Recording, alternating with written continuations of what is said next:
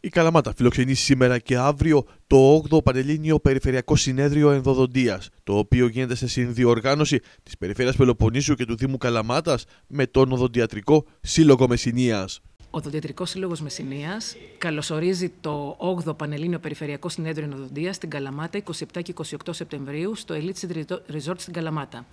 Ε, είναι τιμή για τον Οδοντιατρικό Σύλλογο Μεσσηνίας, γιατί φιλοξενεί για πρώτη φορά το Πανελλήνιο Συνέδριο της Ελληνικής Ενοδοντική Εταιρείας. Το συνέδριο αυτό συνδιοργανώνεται από τον Οδοντιατρικό Σύλλογο Μεσσηνίας, την Ελληνική Ενοδοντική Εταιρεία, την Περιφέρεια Πελοποννήσου και το Δήμο Καλαμάτας. Τι είναι η Ενοδοντική Εταιρεία; Η Ελληνική Ενοδοντική Εταιρεία είναι μία από τις μεγαλύτερες επιστημονικές εταιρείες στον χώρο της οδοντιατρικής στην Ελλάδα. Ιδρύθηκε το 1988.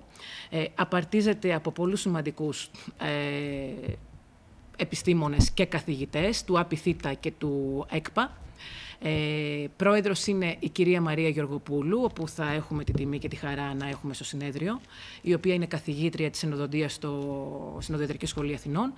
Και μάλιστα μέλος της είναι και ο κύριος Πανόπουλος, από ό,τι θυμάμαι, ο οποίος ε, καθηγητής και αυτός, ο οποίος έλκει την καταγωγή του από την Καλαμάτα και θα είναι ένας εκ των ομιλητών. Σε το συνεδρίο, το κοινωνικό κομμάτι, το οποίο προανέφερε και η Πρόεδρος, ε, αφορά ε, συνεργατήρια ομιλία από τον ιατρό αιματολόγο κύριο Αδαμόπουλο ε, για τους δότες των μυελών των οστών, μια πολύ σημαντική ομιλία και μια ευαισθητοποίηση προς το κοινό και στον κόσμο γενικότερα.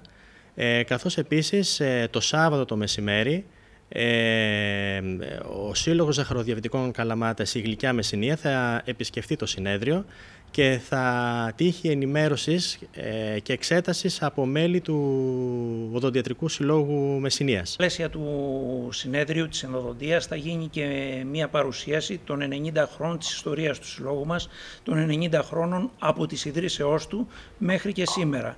Όλη η ιστορία θα υπάρχει και σε φωτογραφικό υλικό που θα έχουν την ευκαιρία όποιοι επισκεφθούν τη, το συνέδριο να δουν όλη την ιστορία του Συλλόγου. Παράλληλα θα γίνουν και πολιτιστικές ε, άλλες ε, εκδηλώσεις